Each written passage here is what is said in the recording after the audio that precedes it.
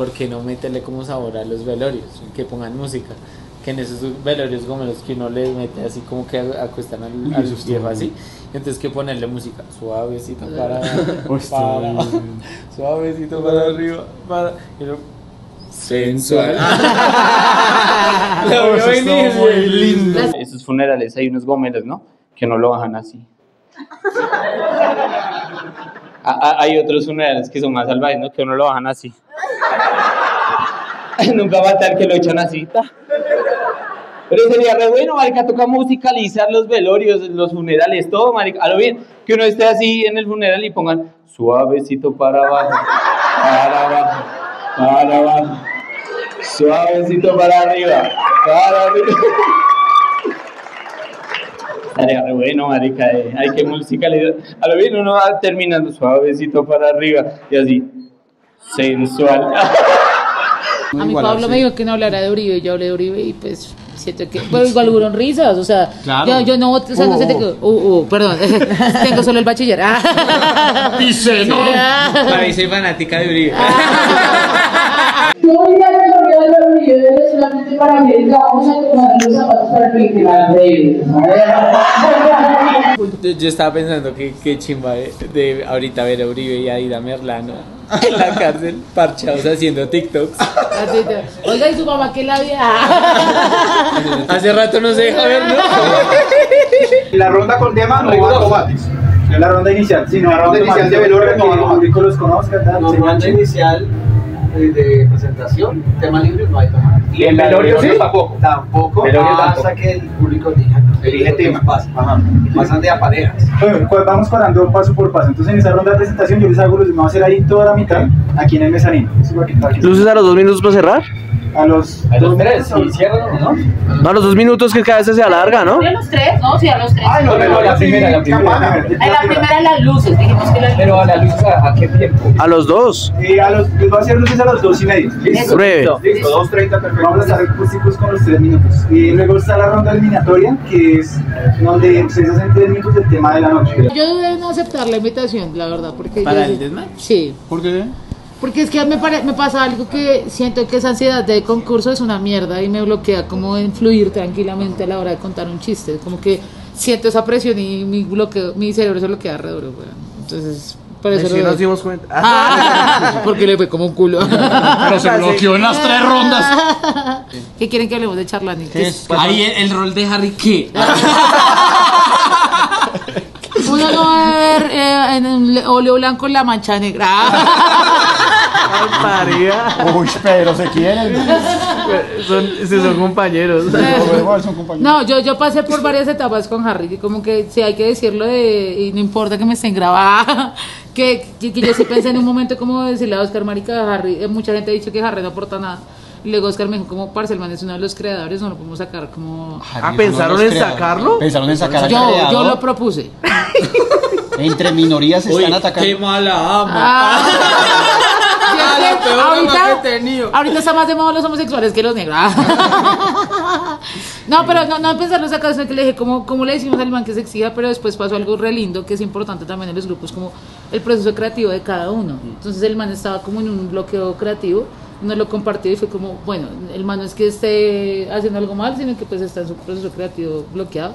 Sigue ahí. Ah. no lo ha superado. Pero de hecho estamos pensando en cómo renovar Charlani porque si nos sentimos como Estancados. estancados en ciertas cosas y no sé si les ha pasado, pero pasa. No, la verdad, yo he Sí. estado charlando. Pues nosotros lo que hacemos con esto es que lo, eh, todavía le estamos hallando como la forma. ¿Ustedes qué opinan ahí? Como yo hablaba con productores y me dicen que ahorita el, como el futuro de la comedia son los formatos. Más allá de la rutina son los formatos, que uno debería dedicarse a crear formatos. Pero igual es, es complicado, digamos, yo me siento estancada no porque el proyecto no sea bueno, porque igual sigue subiendo suscriptores, que siento que es un buen mensaje, como Sí. si se sigue suscribiendo gente es que va bien. Sí. Pero te sentirse estancado porque dice, yo siento que esa la totea, pero no la totea tanto como otros proyectos, entonces ¿qué hago? Entonces uno también se pierde ahí en como ¿Como cuál, por buscar. ejemplo? Pero yo ¿Cuál siento que compararse está re mal. ¿Cómo qué proyecto le Sí. gustaría hacer? ¿Cómo cuál? Eh, por la ventana. Ah. Pero el negro no sabe manejar. Pero sabe empujar. Pero sí es muy difícil buscar un formato que no repita lo del resto, que digamos que Eso no que sea- existe. Entonces, es que ya todo está Es inventado. que ya todo está inventado, ¿Qué, sí. qué hace? Es un podcast. Sí, marica. Sí, sí, es que El podcast original, ¿cuál sería? ¿Cuál sería el primer Yo podcast? creo que el de, el de, el yo no sé, Jesucristo con los Ah. ¿Con los doce apóstoles? con los Con Para el doctor. que nos está grabando. ¡Cuidado con Judas! hubiéramos traído a Harry. Así que díganle a Harry que se quede pasear con nosotros cuando lo saquen de charla. No se sabe qué es peor. Pero no la vamos a Pero aclaro que no es que no la vamos a sacar, pero es hablar como diciendo que uno se preocupa, eh, que no todos los comandantes lo saben, porque no todos los comandantes tienen un podcast, un proyecto aparte de, de uno preocuparse por las reproducciones, por los comentarios, por los likes. Por ejemplo, yo que soy la risa cura, yo me preocupo por. ¿Usted se preocupó por ese programa? Sí, claro. Claro, porque ojalá no se acabe que me sigan pagando. Te preocupas por las reproducciones. Sí, Pero es interesante ese, ese ansiedad que uno causa con los... De verdad no quiere que esto les guste, marica. O sea... Y es como real ¿Usted, cuando le usted qué le diría a la gente, ya que está en otro programa, usted qué le diría a la gente de Charlie? De Charlene, Como- dígale- A las audiencias. ¿usted qué les Multiverso. ¿Usted lee los comentarios todos? Sí, la may- pero de, de hecho de- hace poco decidí no hacerlo, por ejemplo, ya no leo los comentarios de la risa cura porque se me estaban afectando res, como, ay, que Juanchi, no, que o sea, la gente siempre vota por lo que sea. Ajá. Pero en Charlandín sí lo veo, y en Charlandín sí nos han escrito como el proyecto está estancado, el proyecto está estancado, el proyecto está estancado, que solo hablamos de cosas sexuales, que nada, que sacamos a jar. Ah. Pero uno siente esa presión, marica, aunque uno quiera hacerse el marica y no as- Claro. y seguir en la de uno, baila. Y aparte yo soy nueva en Charlandín, yo, o sea, Charlandín nació con Diego Osorio, nació con Emilio. Ah, cuando era bueno. La primera temporada, la primera.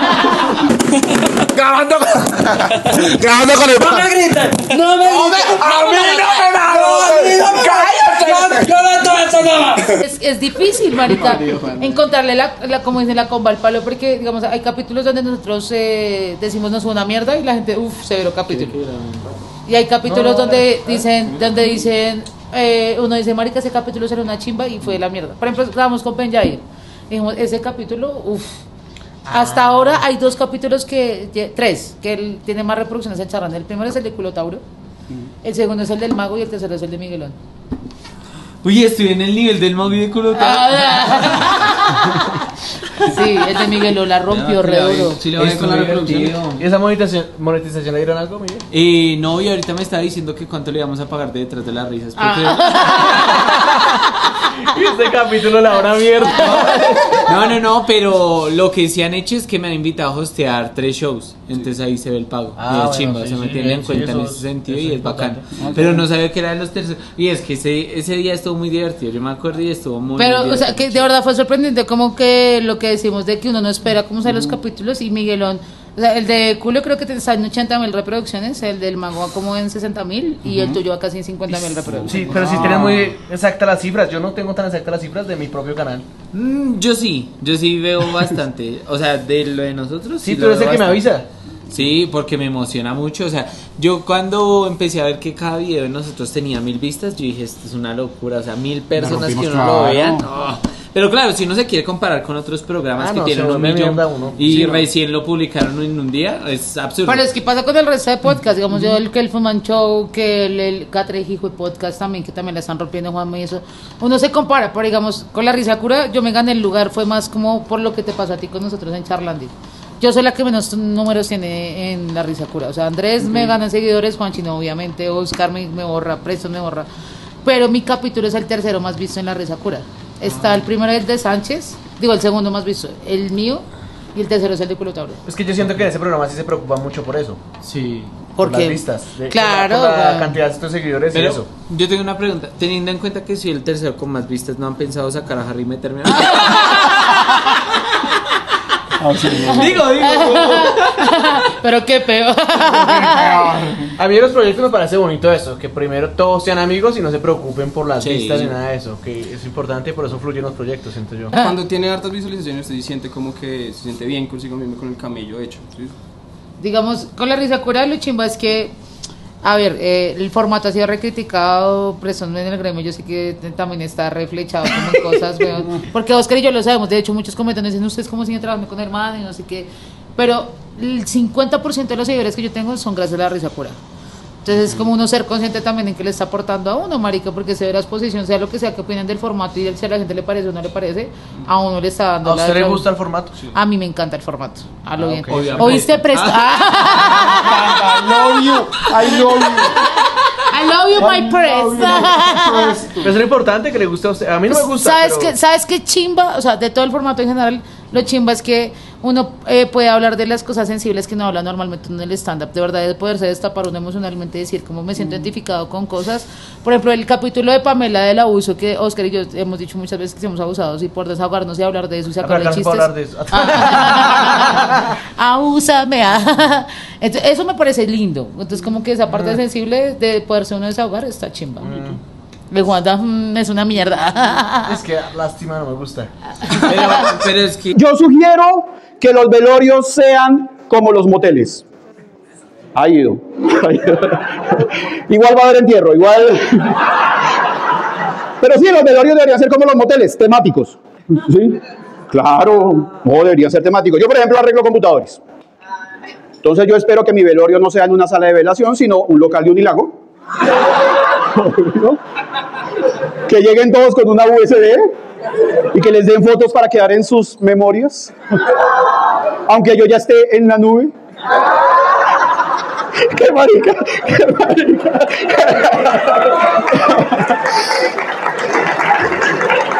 Pero es que tú te das muy duro siempre, weón. Tú eres Sí, muy bueno. Desde chiquito. muy bueno, Tú eres muy weón. bueno, Tú eres muy bueno. No, porque Te sí siento que. Te queremos. Gracias, gracias. muy Sí, a lo amable. bien, sí. A mí me parece muy talentoso ese marica. Ah, muy querido, muy A mí amable. también. Y pero sí hay que tomar los halagos como si fueran y te lo estoy diciendo en serio. No, yo sé, pero es que a mí, a mí me cuesta mucho trabajo, sí, creérmelo. Vaya la pero... cura y- Voy a ir allá yo. Uy, tengo material para. Invíteme. ver, ¿qué Mi mamá, es, mi, mamá, mi mamá fue puta, soy huérfano, Sí, me crié en un orfanato católico. sí, Uy, sí, claro, sí, yo puedo dar. Lo Usted puede dar mucha lástima. Lo estoy sobrecalificado para la risa cura. Usted va y le quita el cabello a Moya. A mí me pasa eso con los chistes de mi mamá. Yo siento que yo voto los chistes y la gente dice como, ush, pero porque no sabe que es que uno se está no conocieron. Y también es la premisa de uno ser comediante, de uno decir cosas que se quiere desahogar. Lo que estábamos hablando, lo que les dije de Uribe. Yo quiero decirlo de Uribe. Y le- me dijo, no, le va a ver como una mierda, la van a tomatear. Pero pues yo estoy tranquila con mi discurso de decirlo. Oye, pero eso es importante. Yo, ustedes.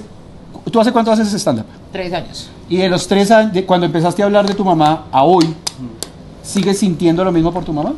Eh, sí. Ah. Pues la risa no cura.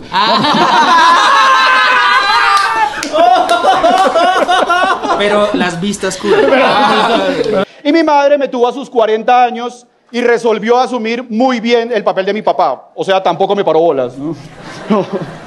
Soy huérfano y ustedes no saben lo duro que es crecer con los cachetes de Kiko y los papás del chavo. Es muy, muy complicado, muy complicado.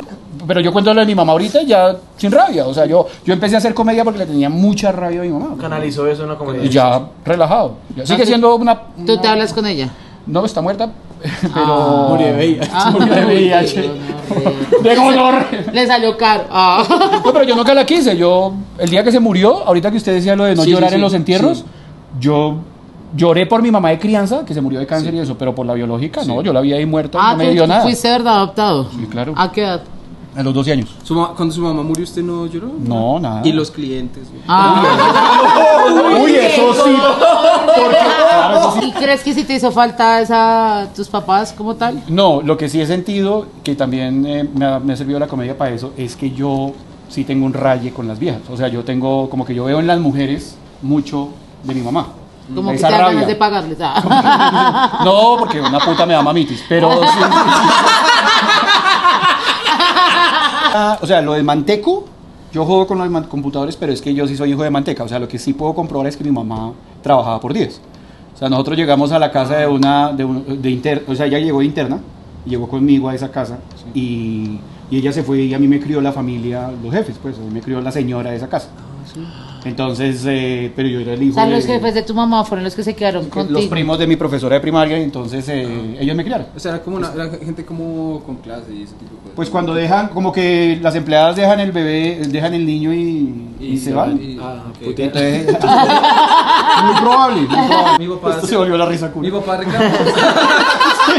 Detrás de la risa. Detrás del bienestar familiar. El que, no Mi tenga, el que tenga menos de 10 mil seguidores no sale, papá. Ah, vámonos a ¿Quieres tener hijos, Moya? Eh, yo, yo siempre he dicho que yo, si en algún momento, nunca he querido tener hijos, pero en algún momento, evidentemente, yo creo que es un instinto de viejas y hay que hablarlo. O sea, las mujeres sí sentimos esa necesidad de procrear porque nacimos de alguna manera para eso. Pero digo que si me da ese bichito de ser mamá, adoptaría, porque lo que me parece paila es procrear. O sea, el, el embarazo y el parto es lo que me parece terrible. O sea, es retraumante. Se daña el cuerpo. Sí, yo no, no solo eso, yo he escuchado a muchas amigas mías. que tiene. Ah, No, se lo va a tirar, no. Se jodió la carrera de modelo. Si yo quiero ser mamá, yo adopto, marica.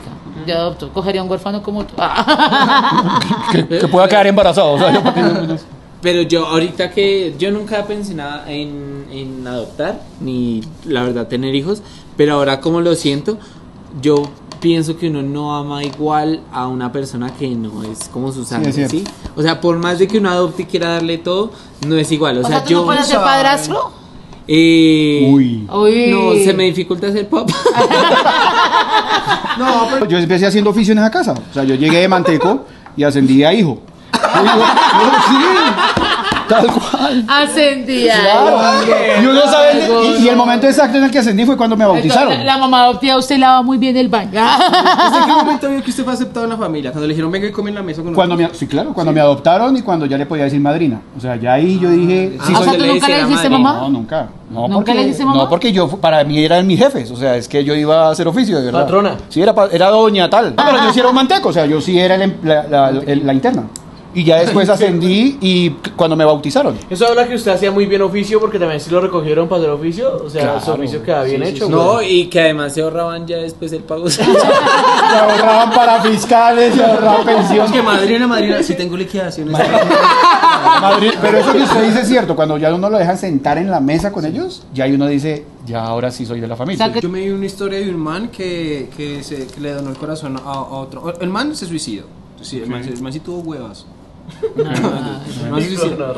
Porque no tienes corazón. No, no, fuera de parche, suicidarse. Sí, se sí. Uy, suicidarse. man se pegó un tiro en la cabeza, tal, yo no sé qué. Ah, no, pero y él es donó, donó el cuerpo, donó el cuerpo. Porque y la cabeza no puede. Ah. y el, y el corazón eh, se lo donaron a un man que lo necesitaba. Ok. Eh, entonces la esposa del man que se suicidó eh, estuvo como en el proceso de que de- para que le entregaran el corazón del man a al paciente usted. y se enamoraron los dos. O sea, el corazón que la- de su ex esposo la tiene el corazón de su nueva pareja, weón. Y el man a los seis meses también se pegó un tiro, weón. O sea, lo que quiere decir que esa vieja era un fastidio. Eh, un chiste. Ese chiste estuvo del parto. Ah. Toca cerrar el capítulo diciendo que Juanito se nos va. Ah. No importa el lugar. El sol es siempre. cuando ya lo, cuando ya lo habíamos adoptado. Póngase usted también. Porque siempre estará en mí. Detrás de las risas.